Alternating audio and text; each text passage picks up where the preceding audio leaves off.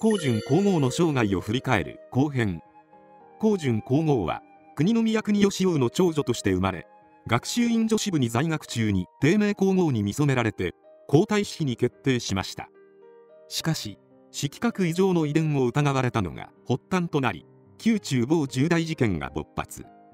政治家の勢力争いにまで発展しましたが結局は婚約に変更なしとなりいよいよご成婚となったのです。皇太子妃となる。陽光帰りの昭和天皇は大正13年1月ご成婚に先立って女官は既婚に限り通勤とする東宮職女官官制を制定。展示をはじめとする官職や源氏名も廃止とし制度上からもイギリス王室並みの一夫一妻制を可能にしました。そして1月26日にご成婚式が挙行。儀式は大正天皇と低迷皇后の史上初の神道様式が踏襲されたのです。昭和天皇は結婚を機に口ひげを生やし光順皇后を長宮と呼んだということです。当時の東宮侍従によれば昭和天皇と光順皇后は当時の男女には珍しく手をつないで散歩をするほど円満だったと回想。同年8月からは約1ヶ月ハネムーンを福島県山国猪苗代町の高松宮沖名島別邸現天教閣で過ごしました。当時の若い昭和天皇と光順皇后のご夫妻は文部省主導の生活改善運動を背景に一般の人々の憧れとなったということです。長女照宮を出産。光順皇后は大正14年12月6日に長女照宮重子内親王を出産。関東大震災以来の刑事として盛大な祝賀がされ照宮のために3人の乳母が選ばれましたが夜間以外は使わず可能な限り光順皇后は母乳で育てました。乳母の回想では夜間に育児室で看護婦に連れられた照宮に授乳する際には金病風の奥に光順皇后が控えていたそうで乳母が仕えた9ヶ月のうち光順皇后と乳母が直接対面したのは3回だけということです。またこの後から皇族の妊娠や出産に関する報道が増えて光順皇后は母性のイメージを強く持って報道されるようになったそうです。低迷皇后との嫁姑仲は低迷皇后は病弱な大正天皇を補佐しただけでなく自らが動いて息子たちの妃を決めた方です。そして昭和天皇の弟たちの妃を可愛がり妃たちからも心底敬愛され孫たちも可愛がったそう。しかし光順皇后との間はどうだったかといえばうまくいっていなかったという話しか伝わっていません。こういう地位にいる方は女官や侍従など多くの人が仕えているので2人の問題ではなくなることもあります。その点低迷皇后の女官長と光順皇后の女官長は姉妹だったので女官同士の対立はなかったはずですが最も有名な逸話は大正天皇の病状が重篤になった時低迷皇后の手ぬぐいを濡らすように言われて光順皇后が慌てて手袋のまま手ぬぐいを絞ったのを見た低迷皇后が「不細工なことだね」と不手際を叱った話です。他には昭和天皇が「お母様はなぜ長宮の洋服のことばかりおっしゃるのか」とこぼしたこともあったそう。低迷皇后と光順皇后の嫁姑の仲が良くないのは光順皇后の父国宮国義雄の出しゃばりのせいで低迷皇后が光順皇后もよく思わなくなった。また低迷皇后が公爵家の諸子だからと皇族の国宮家が尊重していないのではなどとさまざまな憶測を呼ぶこととなりました。昭和天皇の即位で皇后に大正15年12月葉山御用邸で療養中の大正天皇が重篤となり12月13日に昭和天皇と光順皇后がお見舞いに駆けつけましたが25日に47歳で崩御。昭和天皇は124代天皇に即位し光順皇后は119代皇格天皇の中宮義子内親王以来の皇族出身の皇后となりました。昭和天皇と光順皇后は新天皇皇后となったものの光順皇后は第二子解任中だったせいもあり赤坂離宮に居住していましたが9月に那須御用邸での静養後皇居に移転し慣例を破って天皇皇后は寝室を同じくしたということです。そして11月に京都御所で即位の大礼が行われ光順皇后はこの際に京都府三重県奈良県を行継して以降御用邸での静養を除いて地方視察をする機会がなくなったそう。次々内親王出産で継承問題に光順皇后は昭和2年9月に次女久宮幸子内親王を出産しましたが久宮は翌年3月にわずか半年で敗血症のため陽性しました。この時光順皇后は鬼人に対する糸脈で久宮を診察しようとした寺に悲鳴を上げてちゃんと診察するようにと促した話があります。光順皇后自らが久宮に死化粧を施し昭和天皇も目下の者の葬儀に出ない金を破って通夜に出席しました。光順皇后は悲しみのあまり久宮と同じ大きさの人形を作らせましたが翌年昭和4年9月に三女高宮和子内親王を出産。この時ラジオ放送が親王誕生と誤報したので内親王誕生での一般大衆は落胆したものの家族の間では亡き久宮と同じ月の生まれで要望も似ていたために歓迎されたそう。そして2年後の昭和6年3月光順皇后は四女頼宮敦子内親王を出産。連続して4人の内親王が誕生しましたが皇位継承権があるのは男子だけなので元宮内大臣の田中光明は側室制度の復活を画策したものの昭和天皇が人倫に反するとして拒否しました。また昭和天皇の弟で陸軍軍人の秩父宮は聡明で国民的な人気もあったので秩父宮を即位させる動きもあったということです。皇太子誕生。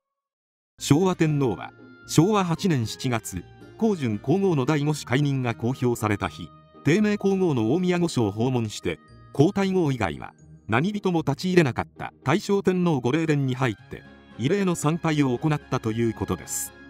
そして光順皇后は12月23日に長男嗣宮昭仁親王現上皇を出産。待望の皇太子の誕生に皇居前での万歳三唱や旗行列提灯行列花電車奉祝会などが行われて日本全体が祝賀ムードに包まれたということです。その後光順皇后は2年後に吉宮正仁親王昭和14年3月には五女で抜子の菅宮高子内親王を出産し二男五女7人の母となったのです。皇太子を母乳で育てる。光順皇后はお子様方には乳母を雇ったものの現上皇もほぼ母乳で育てました。現上皇は4歳まで昭和天皇と光順皇后の手元で育てられましたが昭和12年から東宮仮御所で養育されることになったため親子は土日以外には面会することがなくなり光順皇后が現上皇の好物の豆腐料理を作って用意しても現上皇が召し上がることもなかったそう。内親王は呉竹領に別居。長女照宮は昭和7年に学齢期となったのですが昭和天皇の弟の高松宮らに甘やかされてわがままになっていると批判されたため皇居内に新築された呉竹領に移って養育されることになりました。その後妹宮たちも乳幼児期は親元で過ごし学齢期に呉竹領に移ったのです。昭和天皇と光順皇后は土曜日の午後に呉竹領を訪問し日曜の午後は内親王たちが皇居を訪問して家族の団らんを過ごしまた光順皇后は平日でもピアノのレッスンの日に訪問して一緒にピアノの練習をしたそう。なお呉竹領の一部は戦後吹上御苑に移築されて林朝廷として現存するということです。戦時中の光順皇后。光順皇后は昭和天皇と一緒に行動するイメージが強いのですが戦前戦中昭和天皇は単独行動で光順皇后は御用邸に西洋に行く以外は地方に赴くこともなかったということです。また皇后は天皇の塚祭り人とされたので天皇と一緒の自動車に同乗できなくなったのです。そして軍国主義化していく昭和初期になると光順皇后は昭和7年昭和8年昭和12年に靖国神社を参拝品事変後日中戦争の勃発以降年2回参拝したり昭和天皇の心配に合わせて皇居で黙祷しその他にも2回単独で参拝したということです。そして昭和13年には皇族費や王皇族費を日本朝鮮台湾に派遣して病院や療養所を慰問させたり皇后の名代として皇族費を各地に派遣しました。この時代昭和天皇の神格化に比例し光順皇后は国母慈母のイメージを国民に浸透させていきました。その後は光順皇后も単独で公務を行うようになり日本各地への行慶の様子が当時のニュース映画などで報道されて国威公用の宣伝に使われたのですね。また昭和15年には紀元2600年記念行事昭和16年には戦勝祝賀式にと現代から見ると軍国主義そのものという行事や記念式典にも昭和天皇と共に臨席し二重橋前でお子様方を伴って現れて国民の歓呼に応えたということです。恩師野口優香に聖書の講義を受ける。高順皇后は学習院女子部の恩師でクリスチャンの野口優香を毎年皇后誕生日に招いて観覧していましたが昭和17年4月から昭和22年5月までの計15回高順皇后の希望でキリスト教聖書の信仰を行いました。またこのことは当時の女官長星名武子女官維持地美紀子も指示皇后宮大部広畑忠敬も尽力したということです。この後高順皇后は昭和18年に再び皇族費や王皇族費を各地の視察慰問に派遣し自身でも東京市内を質素内服で視察して積極的に一般人に声をかけました。これらは野口のキリスト教思想の信仰の影響での変化と言われていてその後も多摩の農村を熱心に視察したことが大きく報道されたそう。軍国主義社会で国民が天皇の石師として戦場に赴く時代に皇后が聖書に心の安らぎを得ようとしたのは興味深いですね。照宮の結婚とお子様方の疎開。昭和18年10月長女の照宮重子内親王が東国宮森広王と結婚。また空襲が激しくなる中翌年には他の5人のお子様方が学童疎開で東京を離れました。しかし光順皇后自身は昭和天皇と共に東京にとどまったのです。そして光順皇后は皇太子の11歳の誕生日に全国の疎開児童にビスケットを配布しミュータを添えて激励したということです。宮中服を着用。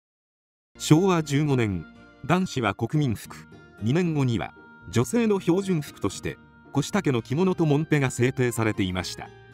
贅沢は敵という時代に皇族とはいえ過敏な服装はできず上半身は細身の和服状下半身は袴状という宮中服が考案されて昭和19年9月に定められました。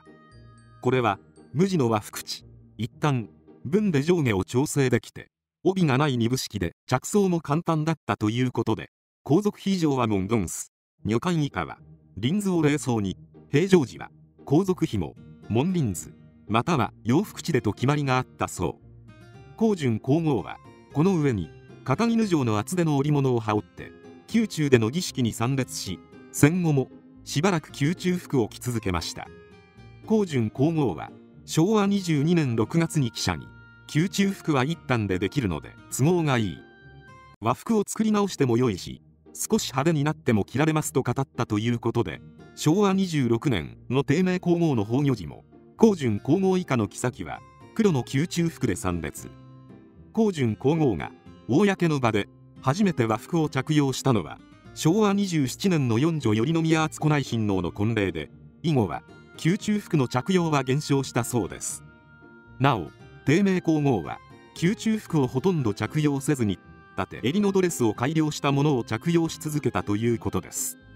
戦時中宮中も厳しい食料に太平洋戦争も激しくなる中国民は食糧難に陥りましたが皇室も国民と同じように食料配給が厳しくなったということです。光順皇后は昭和天皇と夕食を共にする時には2人で相談して必ず料理の一皿か二皿を残して侍従や女官に下げ渡したということです。また戦争末期には光順皇后が自ら吹上御苑で野菜を作り養鶏も行いました。そして敗戦後は引き上げ者のために布団や着物作りを行ったということです。初孫が防空壕で誕生。昭和20年3月の東京大空襲中に長女の東国宮重子内親王が長男の信彦王防空壕で出産。昭和天皇と光順皇后の初孫が誕生。そして8月15日昭和天皇によるラジオの玉音放送を皇居で聞いて敗戦を迎えたのですね。戦後の光順皇后。昭和20年秋になると疎開していたお子様方5人が帰郷して昭和天皇と光順皇后は家族団らんの時間を持つようになりました。そして翌年2月から昭和天皇は沖縄県を除く日本各地を巡行しました。光順皇后は最初同行せずに単独で近郊に行継するだけでしたが9月に初めて巡行に同行するようになったのです。また皇太子の昭仁現上皇の家庭教師としてエリザベス・バイニングが来日し英語を習うようになったのですが光順皇后自身もバイニング夫人に英語を習ったということです。天皇の人間宣言後皇室の在り方が一変。昭和21年年1月に天皇の人間宣言が行われ皇室の在り方が一変した後昭和天皇は光順皇后と同伴の公務が一般的になりました。昭和天皇が積極的に国民と親しもうとしたために光順皇后も昭和22には日本赤十字社名誉総裁に就任し昭和27年からは全国戦没者追悼式昭和39年の東京オリンピック開会式昭和45年の日本万国博覧会開会式などに臨席しました。内親王の結婚にお見合いを進める。光順皇后は低迷皇后と違い長女重子内親王の成婚をはじめとして自らお子様方の結婚相手を探す行動力はなくあくまで側近に任せていました。しかし戦後になると娘たちの意思を尊重するために側近の勧める相手とのお見合いやデートを奨励するようになりました。三女の高宮和子内親王は昭和25年5月に旧公家族で公爵の高塚聡道に降下し昭和27年に四女頼宮敦子内親王が旧岡山藩主で公爵家の池田高政へ降下しましたが戦前と違い何度も会って気持ちを確かめた上での結婚だったということです。昭和27年には初めて天皇ご一家の写真が公表されたり天皇皇后皇太后が披露宴にも参列したりする様子が報道されることで一般庶民は親近感を持ちました。戦後くすぶっていた昭和天皇大論や戦争責任論の緩和剤として光順皇后が親しみやすさのシンボルとなったということです。戦後は和服を多用。昭和27年には田中千代が光順皇后の衣装アドバイザーとなりましたが予算的に最先端デザインのファッションは無理だったので和服を着用することになったそう。高度成長前期の当時は一般でも和服が流行していたため光順皇后の和服は一般庶民に皇室を身近に感じさせたということですが7人の母のイメージは熱狂的な支持を受けるほどではなかったということです。そういえば現在の和服は江戸時代の武家社会と庶民が着用したものなので皇族が着るものではないという考え方だったようでそれまでの皇后が和服を着ることはなく光順皇后が初めてだったのですね。子女の親戚関係。昭和天皇と光順皇后の娘たちはそれぞれ側近らの紹介したお相手とのお見合いで結婚したのですが全員が昭和天皇または光順皇后もしくは両方と血縁関係のあるお婿さんばかりでした。長女照宮重子内親王の夫の森広王は光順皇后の父方のいとこで昭和天皇の父方いとこでもあります。そして四女頼宮敦子内親王の夫池田高政の父信政が光順皇后の父方のいとこ五女菅宮高子内親王の夫の島津久長は光順皇后の母方のいとこなのですね。なお三女高宮和子内親王の夫の高塚聡道は父が大正天皇の侍従で母が徳川家里の娘で常陸宮花子妃は後に侍従長となった徳川義弘と女官長となった北白川幸子の命にあたり血縁関係はないものの身近な縁と言えるのではないでしょうか。皇太子昭仁親王と正田美智子の結婚に反対。昭和30年頃から始まったとされる現上皇昭仁皇太子の置き先選びは東宮食参与の小泉晋三博士が中心になって行われました。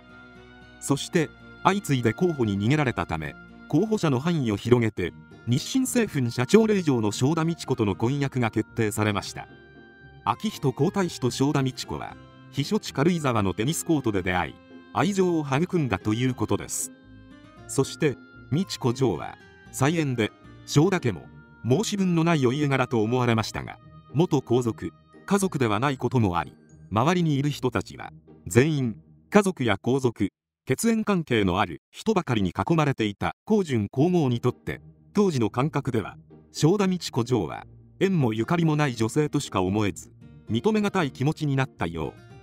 光順皇后は婚約内定前後に仲のいい秩父宮節子妃や高松宮引くことともに東宮様のご縁談について平民からとはけしからんと強い不快感を示していたことは有名です。光順皇后は秩父宮節子妃の母で時和会会長松平信子に対しても自分の考えを述べたということで入江助政日記には松平が柳原白蓮などと正田家に婚姻自体を迫るべく右翼団体を動かして圧力をかけようとしたと記述されているということです。また光順皇后は昭和天皇にも婚約について不平を述べたらしく昭和天皇に対してヒステリーを起こした挙句ピアノを乱暴に弾きまくったという話も伝わっています。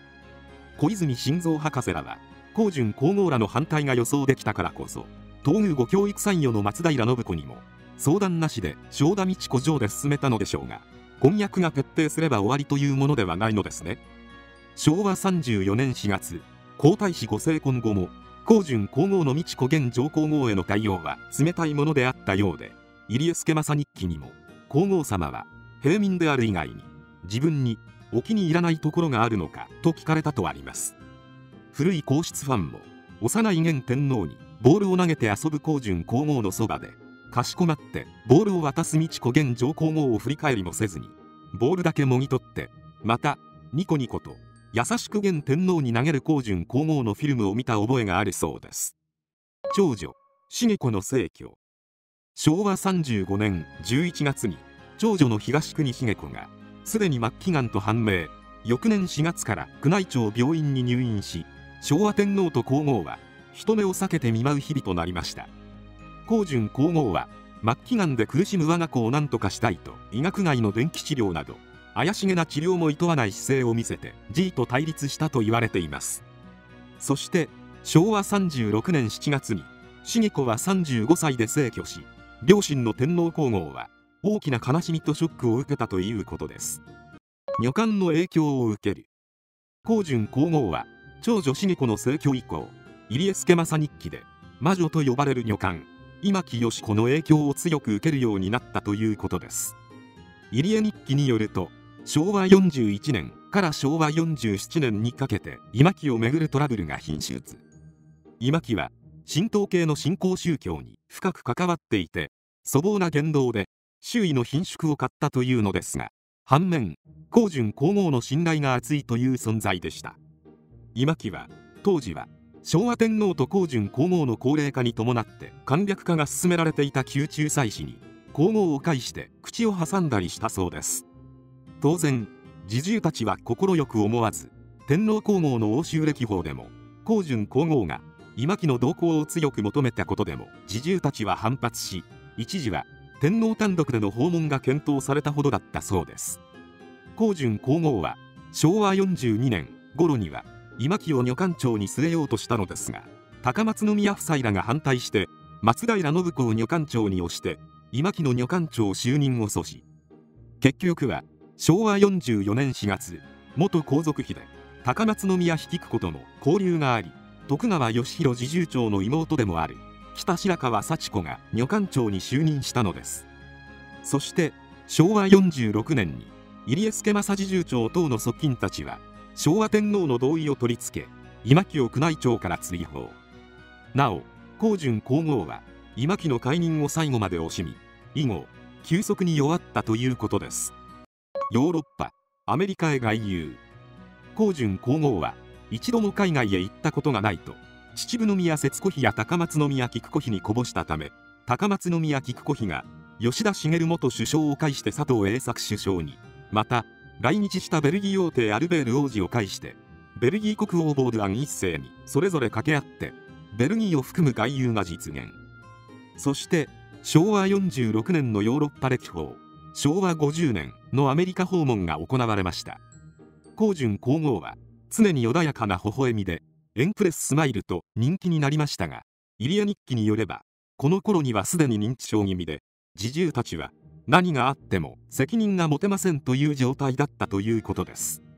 なお昭和49年に金婚式を迎えた昭和天皇と光順皇后は最も楽しい思い出としてこの欧州訪問を挙げていたということです。晩年の光順皇后昭和後期に腰骨を骨折。光順皇后は73歳となった昭和51年に政府主催の天皇陛下御在位50年記念式典に出席して祝賀を受けましたが心身に老いの兆候が顕著になりました。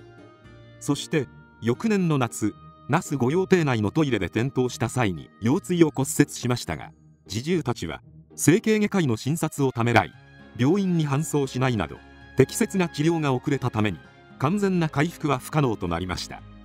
おそらくは光順皇后の認知症を隠すために宮内庁病院ではない一般の病院に搬送できなかったのでしょうがこの事故を境に認知症が進んだということです。またこの腰骨骨折を理由に公の行事などにも欠席するようになりましたが昭和59年にはご成婚60周年記念として新婚時代を過ごした猪苗代湖畔の天橋閣を裁縫したりと昭和天皇は折に触れて光順皇后を気遣い昭和62年4月の昭和天皇の生涯最後の記者会見でもなるべく皇后のペースに合わせるよう心がけていますと発言。しかし側近に皇后のことを国民に知らせなくてよいのかと気にしていたという話もあるそう。そして昭和61年1月の新年祝賀4月29日の天皇誕生日祝賀を最後に公の公務には出席できなくなりました。9月には日課の散歩も取りやめて車椅子となったのです。皇太后時代。昭和64年1月7日に昭和天皇が闘病の末に崩御すると光順皇后は皇太后となり引き続き吹上御所大宮御所として居住。なお昭和天皇の大喪の礼には欠席し常陸宮花子妃が名代を務めました。また平成以降は認知症の症状が進行しているとは報道されず皇太后さまは老人特有の症状とオブラートに包んだ報道がされ外出することも稀になったのです。平成8年3月6日に満93歳となった光順皇后は平安時代の御霊勢天皇の皇后藤原の監視の数え年92歳を抜き神を除いては歴代最長寿の皇后となりました。そして9年ぶりに金英が公開されたのですが現上皇はその写真が公開されたことにショックを受けたということが話題になりました。97歳で崩御光順皇后は平成12年に定期的に呼吸が荒くなる症状が出始めて6月16日に老衰で吹上大宮御所で4人の子女孫たちに囲まれて97歳で崩御昭仁現上皇によって光順皇后と追号されました。光順皇后の逸話。テレビの美容体操を行う。光順皇后は NHK テレビの美容体操で人気だった。竹越美代子を皇居に招き昭和33年から美容体操を行ったということです。竹越はその後インタビューに答えて皇后陛下にはおやさになろうと思われても無理でございますよ。と申し上げたところびっくりされて私は痩せたいとは思っていません。ただこのまま健康で長生きしたいと思っているのです。とおっしゃいましたと10回したそうです。夫婦仲は良かった。光順皇后はおおらかでおっとりとした円満な性格と言われ昭和天皇との夫婦仲も誠に良かったということです。光順皇后は昭和天皇を女将と呼び古風な良妻賢母で夫を立てるタイプだったのですが昭和天皇も光順皇后をよく気遣ったということです。天皇と皇后は皇居や御用邸内をよく2人でご散歩をし植物学者の昭和天皇が皇后に説明をしながら歩き分かれ道に来るとしばしば天皇が長宮どちらにしようかと問い皇后がお上のお好きな方へと答えたということです一度も夫婦喧嘩はなかったというのですが昭和天皇は何度も記者に聞かれると努力もありますと本音を吐露したということです。多趣味で日本画が玄人派だし高順皇后は書詩集日本画歌い関税流バラの栽培ピアノなど多趣味で日本画は玄人裸足でした。結婚以前には高取綾成から大和絵を学びその後河合玉堂前田清尊に師事し豪と上といい画集も出版するほどで昭和31年以降は宮内庁職員美術展に何度も出品しました。なお皇居東御苑にある桃花学堂はこの光順皇后の号に由来しています。崩御後昭和天皇の日記が発見された？光順皇后の崩御後身辺から昭和天皇の日記が見つかりましたが亡き天皇のお忘れ物として光順皇后の棺に入れられたという話があります。真偽のほどは不明ですが歴史的に非常に価値のあるまさに国宝級の資料なのに残念でなりません。光順皇后は皇族の国宮家に生まれわずか14歳で低迷皇后に気に入られて皇太子後の昭和天皇と婚約しかし色覚異常の遺伝が疑われて宮中某重大事件というとんでもない事件が起こり婚約自体を迫られました。父国宮はこれを拒否その後は政治的事件に発展してドロドロの展開になりましたが結局は婚約に変更なしとなって昭和天皇とご成婚。二男五女に恵まれました。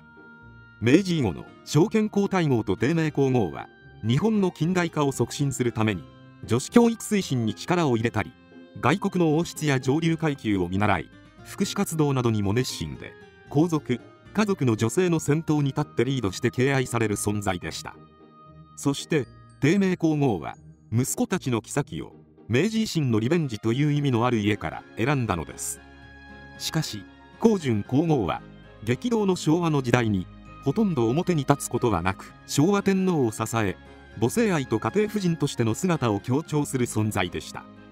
お子様方の結婚相手も側近任せの挙句皇太子妃が平民ではけしからんと反対運動をさせ新しい時代の皇室改革を率先して行ったりもしなかったよう。昭和生まれの人たちは夫の昭和天皇と仲睦まじく並んで微笑むだけの光順皇后の姿が普通の皇后像だと思ってきたはずしかし明治から大正の歴史を調べれば調べるほど証券皇太后と低迷皇后の存在感とのギャップがすごいように感じる。この昭和の皇后像は軍国主義の戦前と戦中戦後の混乱期という時代が生んだ。夫に従い家庭を支える家庭婦人の典型という時代の産物なのか。または光順皇后の背景である。生まれながらの皇族というお嬢様気質がそうさせたのでしょうか。天皇だけでなく皇后の在り方も時代によって変化するのかもしれないですね。